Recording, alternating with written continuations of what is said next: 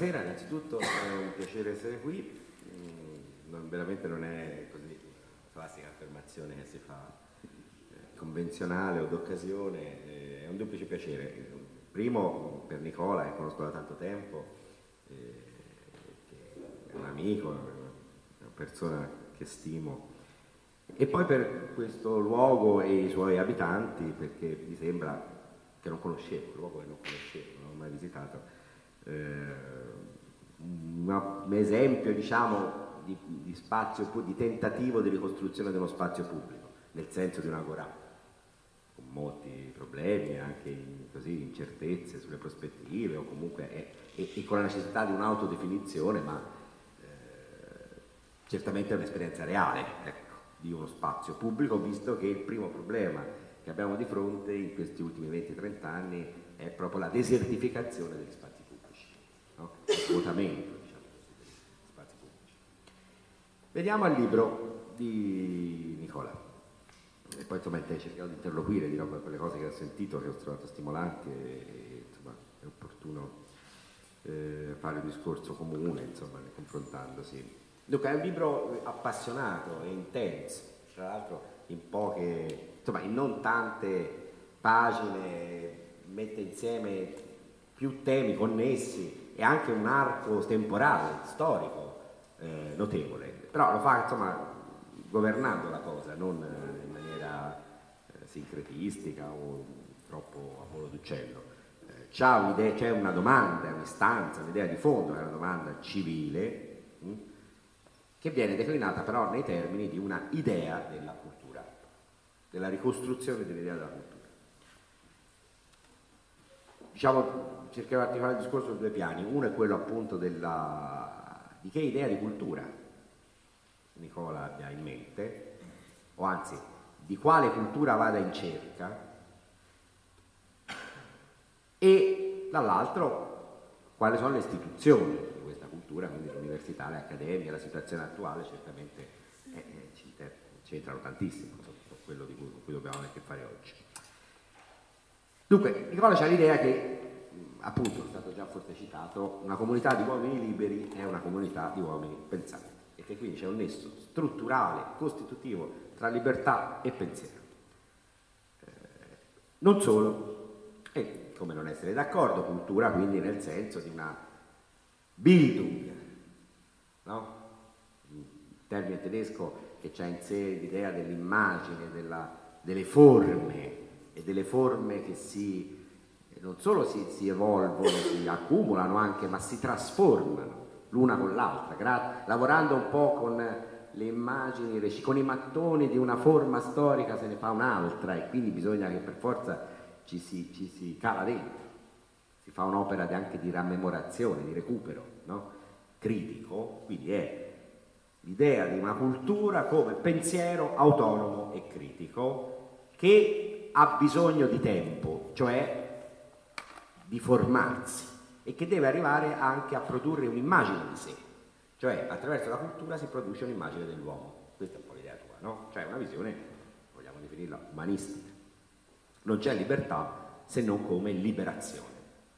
E la cultura non nel senso appunto elitistico, tecnicistico, ma in questo senso così ampio, collettivo, diciamo così antropologico, è in fondo la via privilegiata della liberazione, dell'emancipazione, come stavo detto prima, dell'autoemancipazione in qualche modo. Cioè, che poi anche te, quello diceva Gramsci, cioè le stecche del busto. La cultura una prima fase è una roba un po' dura, quindi la cultura deve essere una cosa difficile, una cosa non una banalizzazione, una cosa un po' tosta che implica l'acquisizione di un metodo, eh, insomma, non, implica che appunto imparare a nuotare, come diceva il vecchio Hegel, oppure prendere una scala, bisogna arrivare da una parte, se no già lo so fare o lo so pensare e non mi serve a niente. Eh? Quindi è un, come dire, una fatica anche che implica un metodo e implica quindi delle, è come le stecche del busto, mi devo un po' mettere, imparare a stare dritto, però imparando a stare dritto mi do un ordine. Quindi non ricevo e subisco un, ordine eteronomo di qualcun altro che me lo dà dall'alto, ma me lo do io da me, me lo costruisco io, riesco a piano piano ad acquisire la capacità di auto-ordinarmi. Questa è la, in fondo la libertà. Quindi, perché se no la libertà è un'immediatezza, è una cosa che fa quel che ti pare, eh, credere di sapere, credere di essere liberi, magari non lo si è. Eh, in fondo la libertà, ergo la cultura, è un po' una lunga educazione anche, eh, non voglio dire all'obbedienza, ma diciamo all'obbedienza a se stessi. Ecco. Quindi è un'idea impegnativa e io condivido totalmente. Cioè, penso che per l'università italiana uno dei grandi problemi è stato a un punto pensato che più la si banalizzava, la si semplificava e più era una cosa di sinistra, progressista, democratica, queste cavolate qua. No, è l'opposto. Pochi, pochissimi l'hanno detto a suo tempo, quando, stato, quando è iniziato la, la, la debacle è iniziata, quindi 98, 99, insomma fine anni 90, primi 2000, in quel passaggio d'epoca c'è stato pochissimi, uno, insomma, mi viene in mente Paolo Grossi, cioè poi vecchi, studio, vecchi maestri, Luciano Canfora, un comunista che ti dice guarda che la cultura deve essere una cosa vera e anche a scuola, anche severa se si vuole, perché questa è la cosa più comunista, lui dal suo punto di vista, che ci sia, cioè è la cosa che più prende sul serio l'uguaglianza, più prende sul serio l'emancipazione, più prende sul serio il fatto che, perché tanto le elite se la, se la sanno dove trovarla una cultura alta, se la, è facile, poi hanno anche i soldi per, per averla, quindi, quindi tu se vuoi fare una battaglia diciamo una lotta contro le disuguaglianze, è una battaglia di vera inclusione sociale, e quindi in questo senso è una battaglia democratica dal mio punto di vista, devi puntare su un livello medio della scuola e dell'università buono. È il livello medio buono che fa, diciamo, la cittadinanza, diciamo così. Quindi la cultura è una roba difficile che, attraverso cui però ci si libera da sé, perché sa se ne libera un altro, eh, già è un'emancipazione per modo di dire. Sono sempre in, in, invece la grande cosa è un po' sollevandosi per il codino, liberarsi da sé, diciamo, prendere in mano il proprio destino, il proprio pensiero, via, diciamo così. Infatti, a me è sembrato che le pagine appunto più, su, su, sulla, più teoriche, anche comunque più sull'idea antropologica di cultura, ci fosse forte in Nicola ci sia forte nel libro di Nicola l'idea di un nesso, io lo condivido molto, tra autodeterminazione e legame sociale.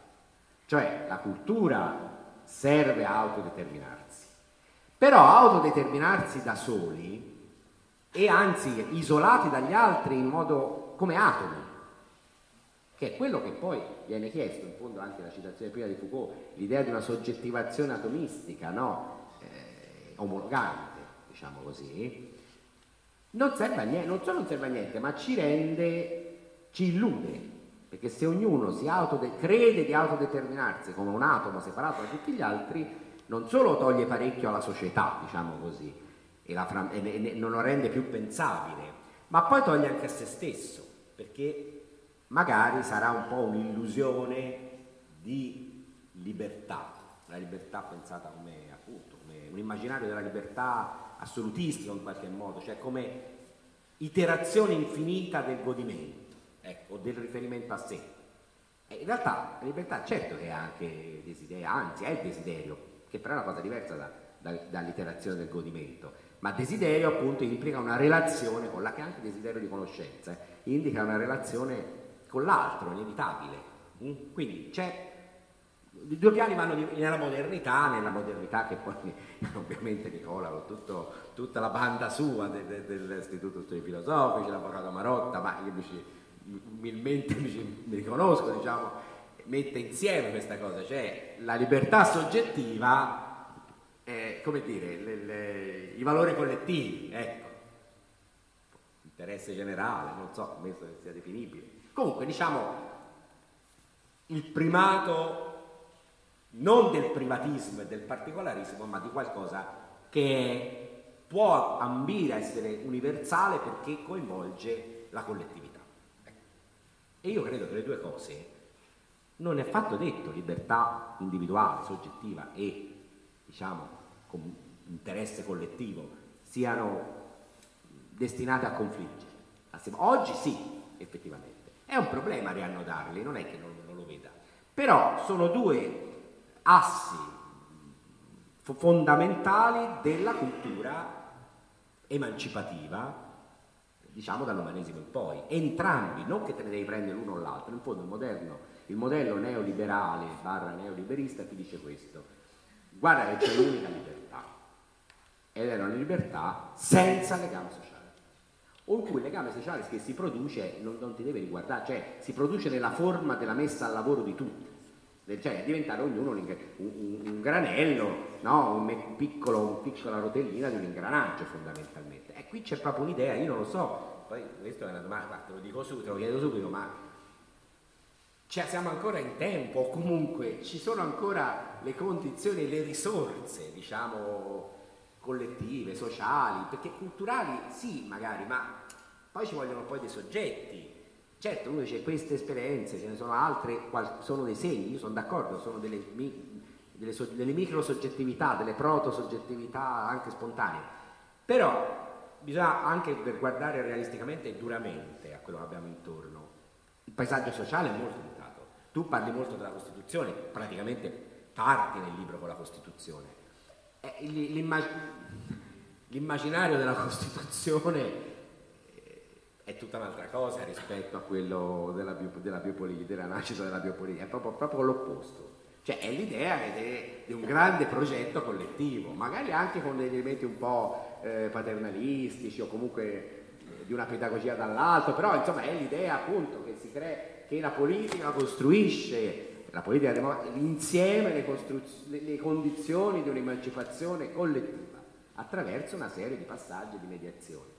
Non che c'è il governo della, come amministrazione eh, in cui si tratta semplicemente di, far, di funzionalizzare, cioè di far funzionare, di oliare il meccanismo, è proprio l'opposto. Allora, quella cultura della Costituzione è un'altra cosa rispetto al paesaggio sociale che abbiamo io penso che lì ci sia un deposito normativo, cioè un deposito di, diciamo, di, di, di, dover essere, insomma di, cose per cui vale la pena, decenti per cui vale la pena impegnarsi, figuriamoci.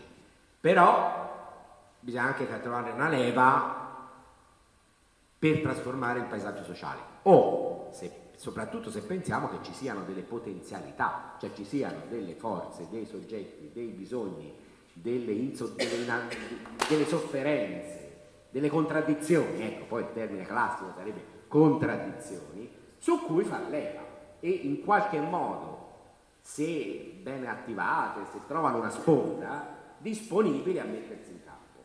Eh, questa è una cosa che anche come analisi proprio, qualcuno appunto, Canfora stesso dice qui ci vorrebbe un nuovo Marx, ma nel senso che noi facciamo le esercizi sempre del cioè che vede, cerca di pensare l'oggi nella sua durezza. Oggi significa il capitalismo attuale, il capitalismo assoluto, diciamo così, attuale, che sostanzialmente sta divorziando dalla democrazia. Io non amo la retorica democratica, nel senso come parola vuota, poi tutti sono d'accordo, oramai sembra che tutti sono democratici, pure Putin non è che sono democratici per niente. Però Dentro la democrazia credo che ci sia, sia in fondo l'ultimo, il prodotto finale di questa idea emancipativa, di cui, di cui Nicola parla nel libro, c'è una promessa, diciamo così. Sem sarà anche sempre una, un po' sconfitta, non mai pienamente realizzata, ma c'è una forte spinta, diciamo. Eh, non è un caso se la forma attuale del capitalismo non ha problema a separarsi o c'è un problema diciamo con una democrazia presa sul serio, tant'è che vi faccio notare, ma insomma, avrete notato tutti che quel modello è in Europa, non solo, ma insomma l'Europa è eclatante oggi, è, l'epicentro de, della crisi anche culturale, no? o persino morale se lo vuole dire. In Europa c'è una, oramai una tendenza forte alla tecnicizzazione, cioè allo stato d'eccezione tecnocratico, mettiamola così che è un po' un paradosso perché poi lo stato d'eccezione l'ha pensato era politico, cioè serviva magari a, anche in chiave reazionaria a ristabilire un ordine, però era, era so, lo Stato autoritario che si voleva reimporre. Invece oggi è? È la, è la tecnocrazia. Quindi c'è una sorta di sterilizzazione de, de, de, della democrazia in funzione di evidentemente esigenze, istanze, luoghi del potere opaci. E luoghi e forme di esercizio ormai opache che stanno altrove e che è un po', ma è stato detto, cioè, il, premio, il Presidente del Consiglio Monti disse questo, ma questi parlamenti che, che sono un problema, questi parlamenti pretendono, e non è che questi parlamenti facciano chissà che, però era un po' un fastidio. Oppure il, il governatore della, della BCE parla di pilota automatico, tanto c'è il pilota automatico, cioè tutto quello che c'è da discutere e decidere è già discusso e deciso. Poi una cosa enorme, cioè gigantesca, che non ha suscitato grandi reazioni se non quelle, nella forma un po' immediata, certo poco da Bildung, come che vengono stigmatizzate come populiste o rabbiose o radicalmente, però non è che, la, cioè, non è che il, il, problema non sono quelle forme, il problema è la, la ragione, la causa, l'origine di queste forme magari sbagliate, saranno generate da qualcosa. Allora il problema vero è quel qualcosa che le genera. Quindi la democrazia è diventata un problema per il capitalismo finanziario, per ora tra stati di eccezione tecnocratici e, logica sistemica delle arti imprese che si sta affermando in tutta Europa, si cerca un po' di, di neutralizzare gli aspetti un po' di refrattarietà che ancora nel, nel demos in qualche modo, in modo si manifestano, magari in modi anche rozzi, ma poi a un certo punto si potrà anche fare divorzio proprio, eh? è già successo nella storia. Questo matrimonio è durato, durato un po', cioè, quante volte il capitalismo è andato d'accordo fondamentalmente, si è trovato meglio con dei regimi dittatoriali, ampiamente, anche nel secondo dopoguerra in altri contesti, Sud America per esempio, in Spagna, quindi non, non sarebbe... Ma questo non è un discorso, cioè mm, non è che c'è un modello alternativo rispetto al capitalismo, però vedo le, i gravi rischi insiti in questa sorta di totalizzazione che poi si, si lega nelle, a un aspetto su cui Nicola insiste tanto, che è quello della, diciamo così, della, eh, della tecnoscienza, no? della riduzione economicistica e tecnicistica del sapere. Fa tutt'uno, fa corpo unico col modello finanziario. Mm? E, questa, e, questo combinato fra tecnica, finanza e, e, e, dominio dei mezzi, diciamo così, che producono se stessi, il mezzo è fine a se stesso. Tu invece, che, che mette in discussione radicalmente dal punto di vista politico idee diverse, idea della democrazia o, non vogliamo chiamare democrazia in un altro modo, ma insomma della politica dei fini, in cui c'è un dibattito vero sui fini, diversi, sugli obiettivi, sui contenuti, sulla sostanza, e dall'altro la, la, la, l'ethos, diciamo, antropologico dei soggetti. Cioè, chi sono questi soggetti? Come stanno diventando? In questo, il libro, poi me lo so pure segnato qua perché a un certo punto ho detto, beh, è un libro un po' pasoliniano, cioè è il solco nel senso che Pasolini aveva ragione da poeta aveva visto lucidamente, con grande eh, acutezza, qualcosa da lontano, quando ancora non sembrava tanto e quando molti, anche nel mondo, nel mondo a lui vicino, pensavano che si trattasse di nostalgie reazionarie. Magari su alcune cose era anche vero era, ma, ma non capendo che quello sguardo, essendo uno sguardo poetico, era uno sguardo che cercava l'essenza non che proponeva un ritorno all'indietro o che non condivideva, che ne so, le battaglie per anticipi, figuriamoci, non è quello, o che come dire, rivendicava o aveva nostalgia per forme comunitarie arcaiche, era un dire occhio perché la modernità, che ci dà anche tante cose che poi hanno un indubbio valore, la modernità, se diventa modernizzazione deviante e ten, tutto ci fa vedere che sembra diventare questo, è semplicemente azzeramento di forme di vita, magari e di sapienza anche, magari millenaria. Alla fine, no, non a caso, questa modernizzazione deviante fa fuori persino il pensiero moderno, non solo il pensiero arcaico, arcano e magari grandioso, ma insomma arcano, no, ma proprio l'idea moderna di ragione che ha tutta quella ricchezza, diciamo così, rispetto mera alla, al mero dato tecnico che nel libro Nicola cerca di far venire fuori, cioè è una rivendicazione di un'idea complessa, umanistica di ragione. Eh, però appunto, diciamo, Tra l'altro tu insisti sulla questione dell'artificio, ecco questa è un'altra questione che ti volevo porre. Mm, io non credo, cioè io penso che, che la, l'idea di sapere emancipativo eh, che tu difendi non, abbia in sé l'artificio, sia un'idea artificiale, è un grande costrutto della, del moderno fondamentalmente, per usando veramente una formula troppo grossolana e semplificata, ma insomma per capirsi. Di un processo complicato che parte fondamentalmente tra 4 e 500. Quindi è, è tutto artificio, cioè la, tutto il cambiamento è artificio, la democrazia è artificio, il, il pensiero libero è artificio, non è, non può essere, quindi in questo senso io no, meno, stigmatizzerei meno l'artificio, che tu c'è un punto in cui un po' lo... Naturalmente capisco perché per te l'artificio è artificio che bella, è il dominio, come dire, di, appunto, di un artificio fine a se stesso, eh, senza un senso per gli umani, eh, di una forma di potere, diciamo così, totalizzante. E sono d'accordo con te. Però poi, insomma, bisogna far, l'artificio bisogna farsi carico, non se ne esce, bisogna lavorarci, riprenderselo in carico, diciamo rielaborarlo che poi significa pure decisione, cioè sono le decisioni ma La libertà è all'inizio un elemento decisionistico, cioè è l'affermazione di, di, di, di una decisione.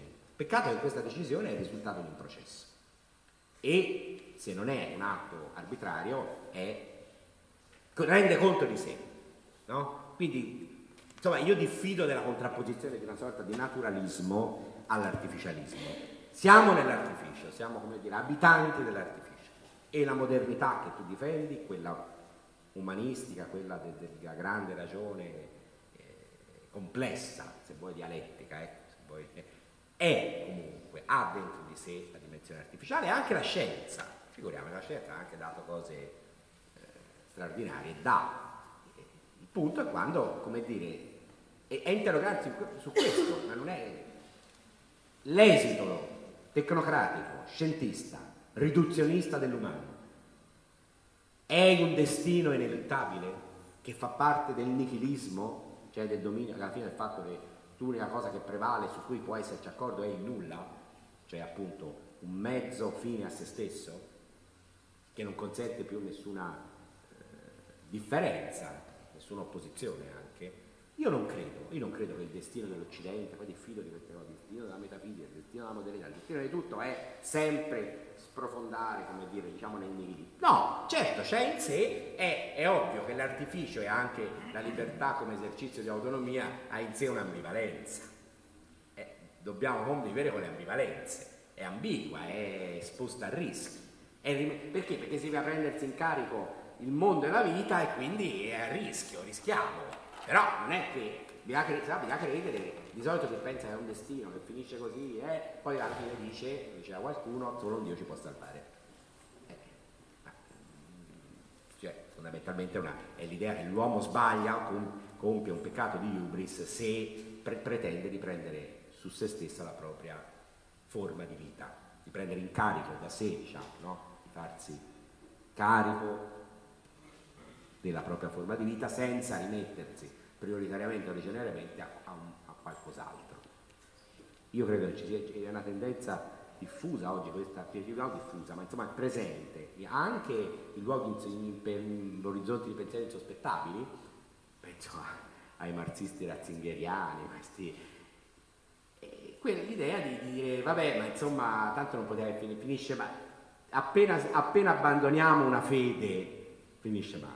Quindi poi venuta meno la Chiesa eretica comunista, eh, bisogna trovarne un'altra, perché mi sembra una posizione, come dire, che introietta la sconfitta e che in fondo non crede nella fioritura dell'umano, non crede nella, in, in, quello che tu in gran parte del libro racconti anche attraverso le, la storia delle accademie, cioè, come dire, l'atto coraggioso di investimento in una intelligenza individuale e collettiva, un po' pazza anche questo atto, pazzo questo atto di investire, un po' come dire uno scarto, no? Una, però eh, se no bisogna sempre pensare che si sta dentro un, appunto, un destino oppure garantiti da un pastore, da un autoritas. No, non, non credo che, che, Però certo, voi stanno a dimostrarlo, eh, a noi, insomma, diciamo, a quello che resta della, eh, di quella cultura di cui tu parli, che è in grado di riprendersi in mano se stessa e anche di riguidare un po' la macchina. Eh, questo non lo so, cioè non è che vedo le difficoltà. Vedo di, cioè, se vuoi una domanda che, oltre a questa questione 3, eh, si può riassumere così su questo lato. Questa è una grande, è, è, è un, tu hai fatto una, dire, una, sorta di resoconto, di, è come una narrazione appunto, un discorso molto mh, normativo, molto di, di, di invito, di, di esortazione, carico eticamente, con questa astronave come la fai atterrare? Allora, una risposta c'è nella seconda parte che so le istituzioni di cultura libere, le accademie, e le accademie anche contrapposte in parte all'università, soprattutto come ora, no? E quindi ora vediamo un po'. Io però penso che non basti questo, eh. Cioè io francamente Nicola penso che non bastino, ecco, l'istituto di studi filosofici in cui sono andato la prima volta, c'avevo oramai parecchio tempo fa, 20 anni, è un luogo straordinario, ora c'è un po' più di difficoltà e fa più fatica a fare quello, cosa, cosa sono le accademie o gli istituti. Luoghi liberi, non condizionati dalla burocrazia dell'accademia, università, di pensiero vero e di cultura difficile, tant'è che lì sono stati animati da gente, da studiosi veri, eh?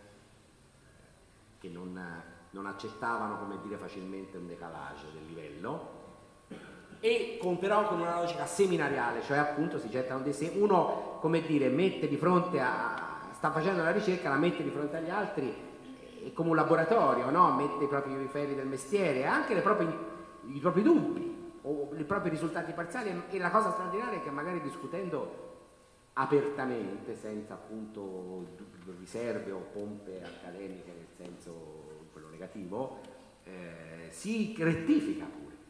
Qui si va avanti, è un vero avanzamento. Cioè, tutti l'abbiamo sperimentato, per, perlomeno. I, I seminari migliori sono quelli in cui si discute, in cui c'è un tale clima anche di, eh, sti, come dire, non ci sono riserve mentali, si può discutere in maniera forte, apertamente, anche con un dissenso forte, però e lì c'è un avanzamento vero di cosa, di un'opera collettiva effettivamente, perché poi un passettino avanti va quell'oggetto, è l'interesse e la passione per il contenuto, per il merito. Allora questo uno ce la deve avere. Eh, ho avuto la fortuna di conoscere alcuni grandi studiosi di questa cosa, ce l'hanno. No, ne cito uno, ora Sandro Pizzorno, il più grande sociologo italiano, uno che cioè, ha iniziato a Harvard, eh, ha iniziato all'Istituto Europeo, gli avrebbero dato, cioè se ci fosse un Nobel per le scienze sociali l'avrebbe vinto. Un uomo di, con un, oggi ha 90 anni, quest'anno, con una curiosità incredibile e con una curiosità verso l'interlocutore, chiunque, cioè basta che gli interessa quello che dice, quindi non il collega iper... E, e, allora è quella, devi avercela tu. Poi però devi stare anche in, in, dei contesti in cui questa cosa viene favorita, valorizzata, viene, è il fulcro, diciamo così. Certamente l'istituto lo è stato. Diciamo, lo è, non lo so, ora è in un momento di difficoltà e spero che risorga anche. E dovrebbe risorgere in questo senso, cioè nel senso che poi ha avuto anche all'origine e a lungo, ovvero studiosi veri, logica seminariale di vero confronto e borsisti, cioè giovani che hanno poi sono messi in condizioni di poter partecipare, perché è anche questo veramente uno strumento anti, eh, diciamo, elitista, no? o comunque di vera, di vera democratizzazione del sapere, cioè tutta l'opportunità a chi non ce l'avrebbe automaticamente non ce l'ha, è fortunato, però ce l'ha. Eh, il problema sono l'altro. Sì, chiudo. Questo discorso sull'università, mi limito a dire questo. L'università italiana, l'avete già dette tante cose. Se si facessero anche poche cose, mi è capitato di dirlo, eh, poche cose mh, rivoluzionarie ma apparentemente minime, concorsi veri nazionali, incentivi forti alla mobilità dei docenti invece dell'opposto, al disincentivo, per far circolare le idee e far fuori università che non esistono, proliferate nel tempo, appunto gli Atenei online in modo particolare si è un'esperienza surreale. Questo sarebbe già un grande segno di cambiamento, infatti quando l'ho proposto mi è stato detto ma questa è una rivoluzione, come si fa a farla? Allora, è chiaro che bisogna mettersi nell'ottica di idee di fare una rivoluzione. Quindi in questo senso il libro di Nicola va un po', è un po' rivoluzionario perché immagina in modo ideale un modello che, oramai, che c'è stato storicamente ma che fondamentalmente si è perso. E implica, come dire, però, questo apprezzo molto perché per immaginare un modello diverso o tornare in parte a qualcosa che c'è stato, ci vuole una messa in discussione radicale dei luoghi comuni, del senso comune oramai proiettato, rispetto a cui tante forze, anche diciamo democratiche, hanno sviluppato una forma di subalternità. E quindi in questo senso è chiaro che occorre un lavoro di controegemonia, cioè in fondo quel modello che tu hai raccontato in positivo, viene da dire, per dargli forza bisogna che diventi controegemonia, cioè acquisisca una capacità anche polemica nel, nella società per spostare dei rapporti di forza. Eh, quindi forse anche l'interrogativo che ti pongo è questo, oltre a quello precedente, è come vedi la possibilità che luoghi, che esperienze pure ci sono, facciano massa critica per porsi anche il problema del potere, perché il potere rimuoverlo è pericoloso, perché tanto c'è. Quindi... Ce lo dobbiamo tenere. Tanto c'è, ce lo dobbiamo tenere. Tanto c'è e circola. No, c'è e circola. Allora è ingenuo pensare che ci si libera dal potere. Io preferisco pensare a un potere diverso, a un esercizio del potere diverso, perché insomma avendo diffi- c'è una lezione del realismo politico, che con il potere bisogna fare i conti e se tu puoi cambiare le cose, comunque un, un, il problema di immaginare, di spostare dei rapporti di forza, te lo devi porre, altrimenti facciamo tante belle cose ma sono cose autoreferenziali. È sgradevole dirlo, però è la domanda, com'è che tante esperienze piccole fanno massa critica?